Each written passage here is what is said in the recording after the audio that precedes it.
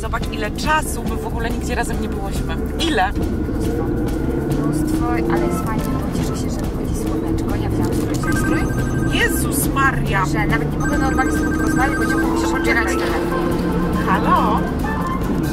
Cześć Mariuszu, a wiesz co, czy ja mogę do Ciebie oddzwonić za jakiś czas, bo w samochodzie jestem? Dobra, no dzięki, hej pa.